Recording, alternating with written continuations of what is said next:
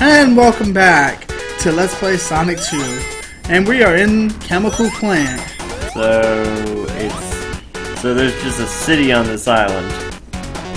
Yeah, probably Eggman built it. Don't know why I'm going up here, but... Eh. To look. Yeah, look for secrets. Yeah, I'm secret. But I'll say this. Um, Chemical Plant, um, a lot of people don't like Chemical Plant. Because it's confusing. I'm assuming. Yeah. But I do like the um, the Sonic Generations version of it. Both versions, classic and um, modern. We won't see that on this channel just yet. Uh, wasn't wasn't uh, classic Sonic supposed to be voiced by Jaleel White? Uh, yes. I remember hearing that. But Sega kind of dropped the ball. Why? They couldn't, they didn't contact in time for some production. You do know Jaleel White has done nothing but Sci-Fi Channel original movies since. It's Sega, you know. It's Sega. Sometimes they get slack. Oh, dude, here's something. Uh, the Sonic, um, God, what was it? The Sonic 30th anniversary, I think. We're 25th. 25th anniversary live stream is one of the most hilarious, cringe-worthy things ever. Well, lately all the retro stuff, Sega and Capcom, been taking they've been taking a shit on it. Like with Sonic, with Sonic Boom. Uh, now we're like an independent game maker. No, no fault of his is doing Sonic Mania. And this is the same, you know, game maker that brought us Sonic 2 for the Android and Sonic 1 and CD, which he did really good. Yeah, yeah. It, didn't Sega hire a guy who made ROM hacks for Sonic? Yeah, I'm, that's the guy I'm talking about. Oh, okay. And yeah, we've just um finished the first act of Chemical Plant. It's relatively short, Fair enough. yeah. but you know, it's just like a lot of the game, like um, a lot of the like companies are not showing love to the retro, the stuff that made them famous, like Sega, um, Sega and Sonic, um, Capcom with Street Fighter and Mega Man. We don't mention Street Fighter Five.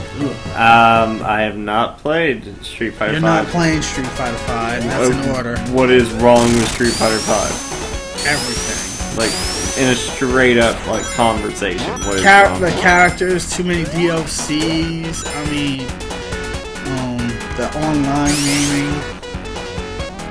That's what's wrong with it. Well, they did release uh, King of Fighters, like, 14, I think. Yeah, I haven't heard any reviews on yet, and I'm, eh, you know, I'm looking forward to it. Um, to it. Um, I wish you had a PlayStation 4, because guess what we'll be playing? Uh, that.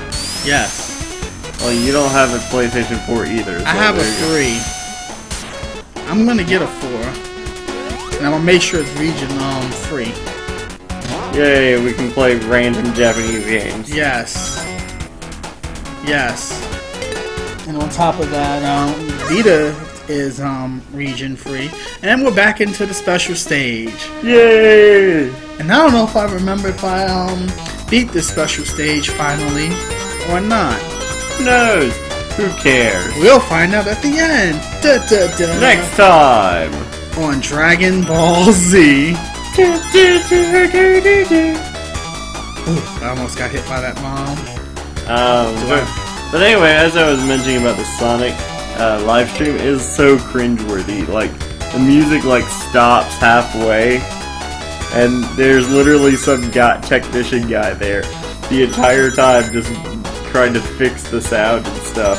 Sounds like our panel, So yeah, it, it kept minus on, the technician guy. yeah, so it kept on going back and forth, back and forth. Wow. But unlike us, you know, two dudes who literally were working, work out of his mother's basement. we don't work No, out. we don't work out. I don't work out of my mother's basement. Also, you uh, do you have a basement? No, I don't have a basement. Yeah, I live in an apartment, so Well, for now you do. yes, but you know what I mean. I'm just saying. Jelly, but I digress. Plus, you do let me work here sometimes. Sure. Um, but yeah, we're not an, a professional company. You And know, it has multi-million dollars. Speaking of that, where does all this money go? I mean, seriously, Sega. um, it goes. Eh. Well, I can tell you one thing it goes to. Four, four down, three to go. Yay! But here's something it goes to licensing characters in the Sonic comics. Well, I was gonna talk about the Sonic comics in this part because I've read a couple, and I'm, and this is pre-Sonic Boom. Ugh. Well, before you actually get on that topic, let me tell you what's been going on in the comics. Just, just bear with me on this one because Alright. it's related to where some of Sega's money's been going. Uh, Son, the, most of the Sonic comics have been made by Archie Comics. You know, the Uh-huh. people who make the Archie comics. Yeah, that, that's what I've been reading, Yes. Anyway, um, since and we're in the one of the water, the dreaded water parts. well, yeah, I, I'm assuming this would be really awful if you're playing as Sonic. If you're not slow enough, and yeah, I got the um, drowning theme. There you go. We can't hear it, so Use your imagination. well, I'm just. Anyway, um, like two years ago, they apparently a contract that Sega and Archie Comics signed, uh, like got lost. The paperwork did, so they had to write up an entirely new contract. However, with this new contract, there is a loophole in the old one. Uh, the guy who is mostly writing all the Sonic stuff, that you know introduced new characters that he made up, Right? literally filed a copyright because he own- said he owned all the characters featured in the comic Uh, outside the characters made by Sega, oh god. and he won too. So literally, Sega has to pay this dude. And I got Simon Belmont. Oh. But yeah, Sega has to pay this dude if they want to have any of these side characters he made for the comics to show up. What are the si- who for whom? Uh, I don't, I don't really remember. It- Like, it's not like the ones like from Adventure and you know. the, pretty much all the it characters that are exclusive to the comics. Like any characters that you see in the like cartoons or the anime or the video games, they're those are all owned by Sega. There were tons I of fail again. uh, tons of important characters that were in the comics were created by this one dude. So much so that uh, when Sonic had the crossover with Mega Man, Yeah. because that happened. And that I heard that was good. Oh, it was really good.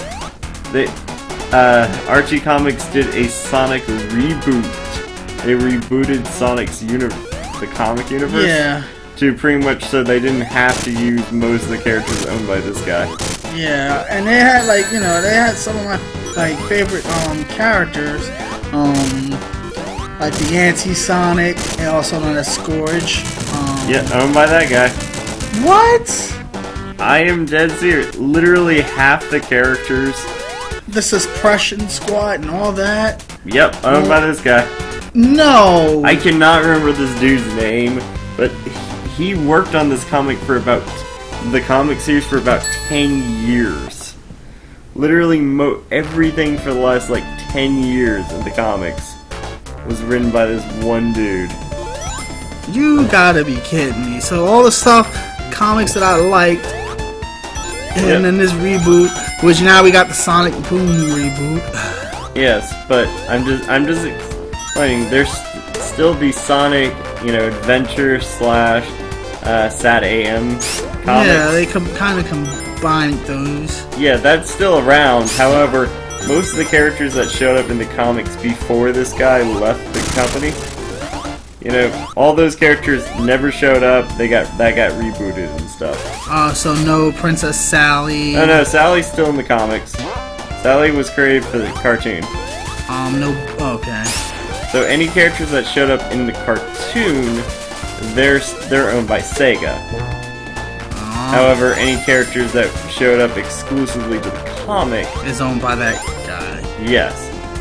So pretty much Sega had to make an entirely new contract for anybody who makes characters for their for the current Sonic series, Uh, meaning that they own them. It This is why you write contracts very well and keep paperwork. Yeah, I was a fan of the um the story arc where you know Sonic goes into the um I wouldn't say negative zone, but like the alternate universe where um his counterpart is evil and Doctor Eggman is the good guy. I love alternate reality stories like that. Those are Yeah. really cool. But you know the anti-Sonic managed to take over his own universe type thing. Yeah, sounds about right. Uh, but again, that will never be explored again because it's owned by that some other guy. Uh, yeah, that sucks. And here's the funny thing: the guy is actually publishing his own comic with all the characters. Why Again. Sega? Sega drops the ball again. He didn't. Sega hasn't. Sega can't do anything because he. They lost all those good characters. Yeah, that's the sucky thing. Again, this is all just like paper paper lawsuit stuff. This is why you keep paperwork. Next time, though, you should just hire the puncher and take him out. that would have been easy. Dude, here's here's another thing. Did you know there's a there's a Sonic slash Image Comics crossover? Uh, Yeah, Uh, with characters like Savage Dragon, the Maxx, uh, Spawn, um, a few of the characters from the Youngblood series. Sonic meets. Yeah, with Meet Sonic the Hedgehog. It's done in like this very goofy comic style. Well, I can understand Savage Dragon Oh, because they used to come on the USA one, and I don't have enough rings. Oh, and then there's also Mulder and Scully for the X Files there too. Uh, what they said to investigate Doctor Eggman. No, they're investigating investigating the whole thing. Doctor Eggman doesn't actually even show up in the comic. It's Doctor. We're, we actually never named this guy. Is the main villain. I read it. Um, Larry had a copy of this. I found. I should have bought it. Buy everything else, and you didn't buy that. I don't know. It was interesting, but it was in his dollar thing, and I never found it again. Oh come on! I was spin Dash, and How did that fucking thing hit hit me? Well, it's because it had drill on its I was drilling too. It had a drill. And yes, that was grounded from the cartoon. Yes. So, um, I've been in the water way too long too. do we see Scratch from the cartoon? Later, Gotcha. I've still been in the. Oh, there we go. Um, And we haven't even been talking much about the zone. We've just been ranting. no, no, no. But- But, it, it's been related. Yeah, but you know we're at the boss now, Da da da da. and I'll just have some ruins and a big hammer. This is not at all like the um ball and chain. Well, Dr. Eggman kind of got. I mean, Dr. Robotnik, Eggman, whatever. And I fail. He, he's kind of cheap some weeks. Yeah, because it's Eggman. Oh wait. Um, And, and notice another thing about Sonic 2 in this version. I keep my rings. woo! And now I'm just gonna cheese the fight. I believe I can fly. Knuckles doesn't fly, he glides. I believe I can touch the sky. He glides the sky, and it, I, and I'm getting clipped. I don't even know what the rest of the song actually, Actually- goes. Actually, when I was in New York, um, I had to sing that song for chorus. Why? That's not a song you would sing for chorus. I like that song, but that's not a song you would sing for chorus. We lip synced it too. But anywho, we'll see you in part three for more um Sonic 2. Catch you later. Toodles.